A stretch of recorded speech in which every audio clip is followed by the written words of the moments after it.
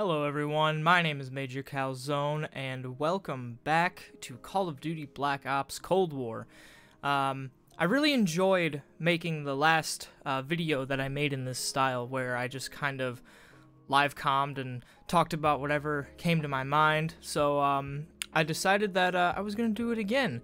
And uh, obviously, I have another topic that I wanted to talk about today, and in fact, I'm actually going to cancel the lobby thing. So, what I was thinking about earlier when I was playing and kind of warming up, whatever, I don't know if the Battle Pass is worth it anymore. Now, I know that's not exactly a hot take in the community or gaming as a whole these days because Battle Passes are fucking everywhere. The problem is that I was going through some of my classes and I was, you know, putting things together and doing stuff, whatever, and I realized that pretty much every weapon that I'm using I'm using a blueprint for, or a base variant that I've just put attachments on, right? So like, here you can see my one class here with the XM4. I'm using the Western Wall, which is a blueprint, although I've changed some of the attachments around on it to obviously make it work a little better. And then I got this AK, the Cursed Angel here, which is an ultra um, ultra variant blueprint that, you know, you can see it's changing colors there. Uh, the auto tune, the FFAR setup, the anime one that I was using in my, my last video. The grav I don't have any blueprints for, so I obviously have to just use the base variant. Uh, the 74U, I'm using the little comrade. The PPSH, using the default, mostly because the PPSH just looks so good. Man, I love that steel wood grain combo. It's nice. Uh, but then again, the Milano, using the red room, just because it looks good and the attachments on it are decent.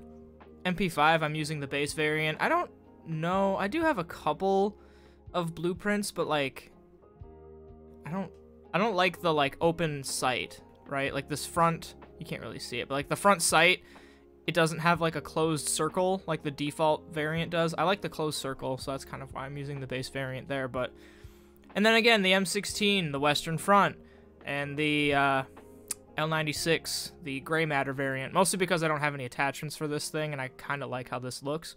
That's kind of what I'm getting at is, as far as I can remember, every weapon variant that I'm using in my classes is not from a battle pass. Like, it's all stuff that I've bought in the shop.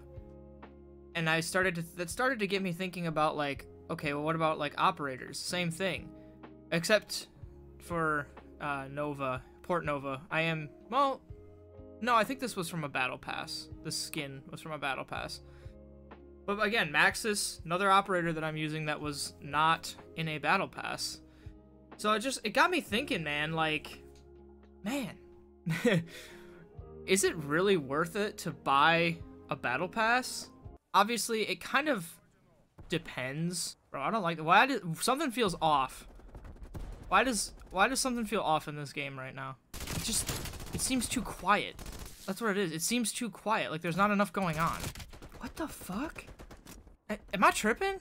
Am I I don't know. Okay, whatever. Anyway, so like I was saying, it depends a lot on what's in the battle pass that really decides like if I want to buy it, right? And I think the fault of myself and many people is we look at like the top reward first, or we, we consider the top reward to be the reason to buy the battle pass, right? But if everything else is, like, mid at best, I don't really like using that word, but, you know, if it's not great, like, yeah, you're getting some cool, like, decent-looking skins and stuff like that, but it's like, why even buy the battle pass if you're just gonna buy, say, an operator pack or an operator skin bundle instead? You know, I get that the battle pass is only $10 and a lot of these bundles are like 20 plus, but it's like, okay, you could buy one operator skin that you're probably going to use for most, if not the entirety of the game. Woo! Woo! Or you could pay $10 for a battle pass that you kind of, no, no, not kind of, you have to religiously play the game to get. So it's like, yeah, you can pay $10 and get all these skins, and you can even get like the tier 100 skin. That's super cool. But how many hours of the game are you going to have to play to get that tier 100 skin? You know? How many how many hours are you gonna have to waste grinding challenges and, and using double XP tokens and, and double XP weekends and stuff like that? Like it's kind of like it's it's either okay, you can pay $20 up front and get a, a little pack for one operator that has a really cool skin and maybe some cool blueprints. And now we even have weapon vaults in Modern Warfare 2 that are coming up. So, are you going to spend $10 to grind your ass off? Or are you going to pay $20 and get something you want that you'll actually use for more than like a week? Or maybe a day? Like, I cannot think of a time that I've used a Battle Pass skin that wasn't the Tier 100 skin after, like, maybe a week at most. I, I guess it really just depends on what kind of person you are. Also, these guys, speaking of who people are, these guys are fucking awful. They are literally just camping up in their house. What the fuck? Guys, it's Nuketown. Move! Like, look at them! They, they're not leaving their property. Well, that guy's sniping, so I guess he kind of has an excuse. But, like, still. Yeah, man, I don't... I don't know. I... I was just thinking about that. About, like... If I... If Call of Duty was the only game I played, right?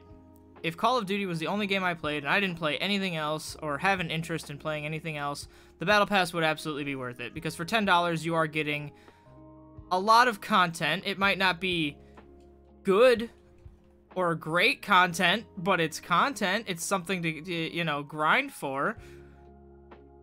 God damn, bro. The guy is running armor and a fucking hand cannon. Holy shit. I'm gonna burn those motherfuckers. Never mind. Didn't do anything. I don't know why I'm running the napalm streak, bro. It's literally pointless. Well, now they're moving. Okay, I'm not saying these guys are cheating when I say this, just FYI. But I heard, or I found out, uh, I think it was, God, I was watching WarOwl's video on Overwatch 2 yesterday, and he was saying that in South Korea, if you cheat at a video game, you literally are like banned from online gaming because you have to attach your like government ID to your online accounts. And so if you're caught cheating or banned for cheating, you literally just cannot play online games anymore. Dude, that's based as fuck. I love that. I would totally attach my social security number to my gaming account. No, I'm kidding. Not in America. if we could do something like that in America, that would be cool, but I, I don't know. I don't know how we could do that, to be honest. But I just thought that was really fucking cool. Like, yeah, if you if you cheat at video games, you literally do not get to play any video games online, ever. And that just seems incredibly fucking cool to me. Again, not saying these guys in my lobby are cheating or that they're even from, you know, South Korea, but like, I don't know. The thought just popped into my head. I was like, that's pretty cool. I like that. But yeah, man, it just seems kind of, kind of whack to me. Like, especially like when you consider that in recent years, the quality of items in a battle pass has like progressively gotten worse it's like why like is, is it really like is the content you're getting really worth ten dollars? I mean maybe the tier 100 skin in a battle pass or like the top tier reward is worth ten dollars. But like i was saying before it's not just the ten dollars that you're spending up front it's the ten dollars plus the like 100 hours you have to put in in three months to get that tier 100 skin. You know what i mean? And it's like again, if Call of Duty was the only game I was playing, or the only game I was interested in playing, yeah, I would be fucking, I'd be on it like Donkey Kong. I'd be all over it.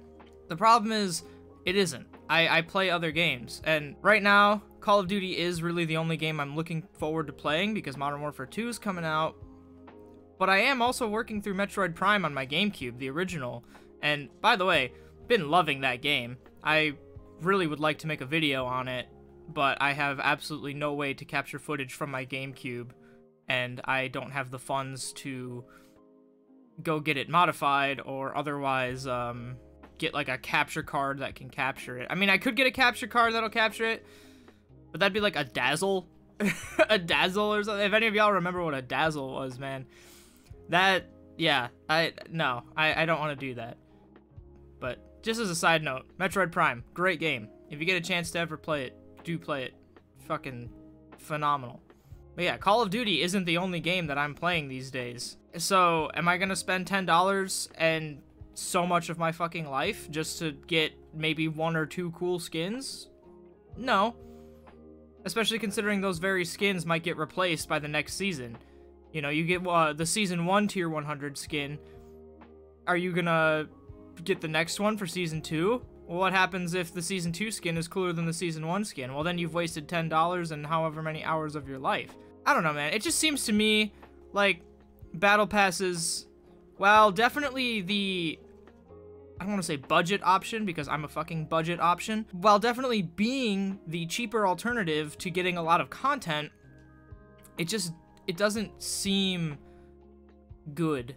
It doesn't seem good in the grand scheme of like I would personally rather pay $20 up front to get one cool skin and a couple of blueprints or a weapon vault as opposed to paying $10 for a bunch of mediocre content and the possibility of getting a really cool skin at the end of, you know, hundreds of hours of grinding. That being said, despite its faults, I do think Halo Infinite has done very well in this regard with how you can buy the, the battle pass for $10 and then you can level that battle pass even after the season is over, right?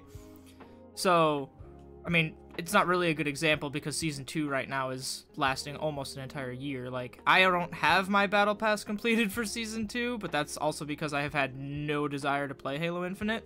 But having paid $10 for that battle pass, if I ever decide that I want to go back to Halo Infinite and play it again, I can still level up my Season 2 Battle Pass and complete it and get all the content that I paid for. Unfortunately, most games aren't doing that. You know, it, it's it's unfortunate that that it has to be that way, and we have to use FOMO. And again, Halo isn't exactly cleared of this because they use FOMO with the shop and with the events and stuff like that. Like, yeah, the events are free and you don't have to pay for any of the content in a event pass but also it's only there for six weeks, and after those six weeks, we don't know if they're ever coming back. So if you don't get all the content, I don't know, fucking try again later, I guess. I don't know. You have to pay for armor pieces in the shop, but thankfully the Eagle Strike core is kind of trash, so I don't really want anything for that anyway. You know, that doesn't even consider the the fact that you can pay for battle pass tiers, right? So when you get a new battle pass, you can pay say 20 say you pay 25 bucks and you get the the extra launch edition or whatever and you maybe start 30 tiers ahead, right? You still have to pay like $70 to complete the battle pass if you don't want to grind it out. So is a battle pass really that cost effective? I mean, you don't have to pay for all the tiers, but you're basically saying that the tier 100 skin is worth $100 or 100 hours of your life. Which will it be? you know what I'm saying? I don't know, man. Maybe I'm talking out of my ass, or maybe I'm just talking in circles, but this is just like a thought that's kind of come into my head. I, I don't know if I'm going to get the battle passes for Modern Warfare 2. Like, I might get the Season 1 pass just because there's really going to be no content otherwise. But I don't know if I'm going to get subsequent passes. Unless, of course, they put a specific operator in the battle pass that I really want, then I'll pay for it. Um, I kind of regret not getting the Modern Warfare 1, Modern Warfare 2019, I should say, Season Pass, or uh, Season 4 Battle Pass, because that was the season that had Captain Price, and I, looking back on it, there were a lot of cool skins for him that I really wanted to use, but uh, I didn't buy it, and now I can't get it. So, I think Captain Price is going to be a default operator in the new game, considering he's part of the Red Team 141 pack, but, like, I don't know if I want to pay. Like, I, I don't know. I don't know. Hopefully he's a default operator, so I don't have to worry about that. But yeah, if they add any, like, cool operators to the pass, I might buy it just to get the base operator. Then again, you know, they could put...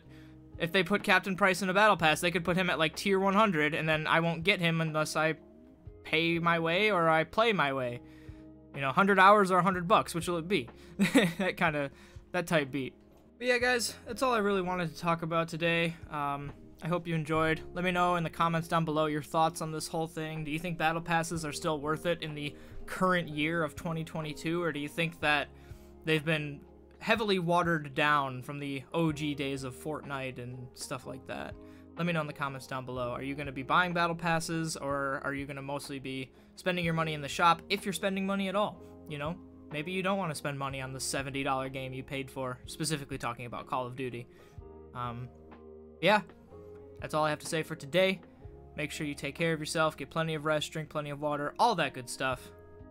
And uh, I will see you in the next one. Goodbye.